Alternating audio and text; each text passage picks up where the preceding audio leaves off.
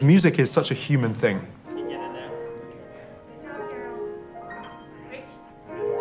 It doesn't matter where you come from or what language you speak.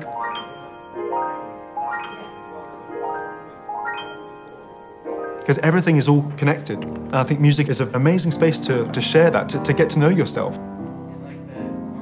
And I think there is something really joyous about that that reminds us of how much we have in common rather than the things that set us apart.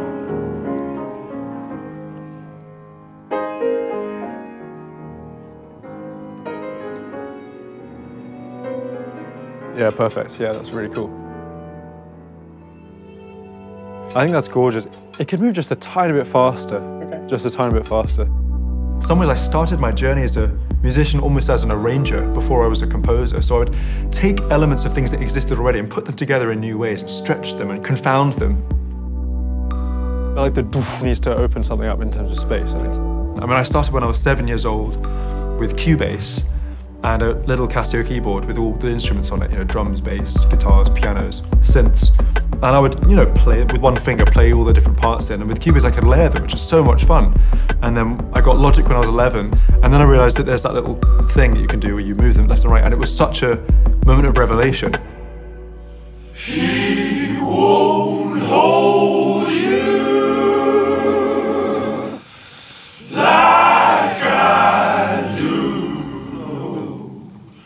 I look back at those early days as a boy and the experimentations, and I'm so glad that no one told me to be like other people. And I, I had people around me who always let me be myself. My mom brought me up as a, as a single mom with my two little sisters. And what she did was she was able to give me a space. And I think when you're a child, you kind of, you kind of make as many ideas as there are ears to hear them. And so she was able to make a space, but not fill it for me. I think the thing that my mum nailed was not trying to change me. It wasn't like, oh no, no, Jacob, don't be like that. You know, that, people aren't going to like it if you do that. I was given a lot of permission to be Jacob. And the, the joy for me was having that family music room, which I still make music in all the time. Um, be able to go in there and think, I don't know what's going to come out, but I'm going to have a space to play. And only now am I deeply falling in love with songwriting because I've kind of learned all of these skills that apply to reinvention, and now I'm trying to learn how to apply them to invention. I think what I think what I'm missing is the dry signal of what that is. Ah. Yeah. When I take a song like All I Need that I was working on just now, which is 646 tracks, stereo is just not big enough for that.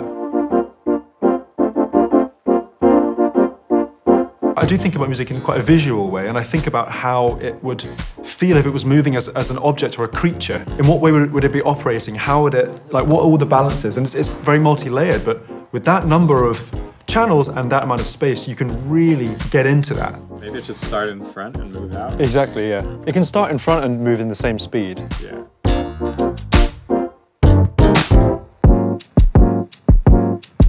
Cause every time I think about it, can't stop thinking about it. That you were all I need. First time ever experiencing my music in Dolby Atmos. It was crazy. Dude, really crazy. that's an adventure. it's such an experience. I think all the nuance that you get when you start to play technology like it's an instrument is very powerful. Like a big circle. Or they could do, or they could do this more axes are available than I'm used to, just way more dimension. And because my music is so multi-layered and so sort of uh, colourful on different planes, it feels very natural, I think, for me to think in that space, to open that space and open my ears up to placement and, and all that all that kind of stuff. Like ever-changing is good. So if it could go like this and this, then it, that could be interesting because your mind goes crazy because of the potential in, in all spaces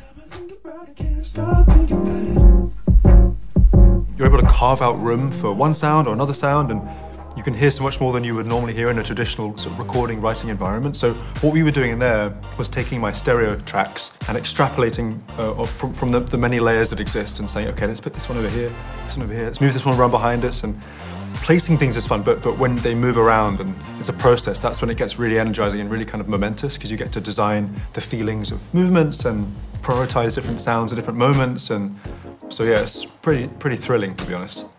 My only fear is that I, I won't be able to go back to stereo anymore because it's going to feel sad and disappointing. Just so you Yeah. have a sense of Yeah. what it feels like. One thing we could do with reverbs, which might be fun f- for this kind of setup, is we could add a bunch of pre-delay, or more pre-delay than we would normally have, so that you have kind of like. Yeah.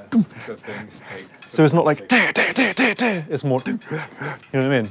It's very energizing to sort of recontextualize something that you've heard thousands of times, but in a way that you've never heard it before, you know. I think the way the first verse was done like that and then opened out, that's so cool. Yeah. You're completely taken into this other world, and so the moment where we first heard that was a goosebump moment for sure. There's just so many axes that we we never get to play with. Yeah.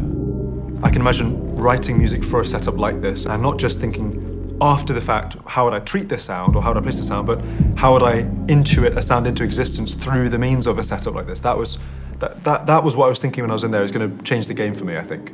That's cool. I'm into that. That sounds gorgeous.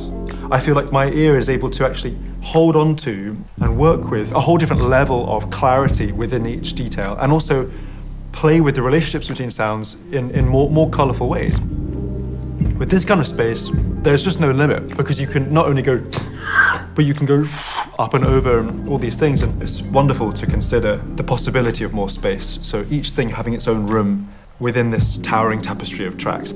And my mind goes crazy with all of that potential. I think I've been more excited about sound than I've ever been before.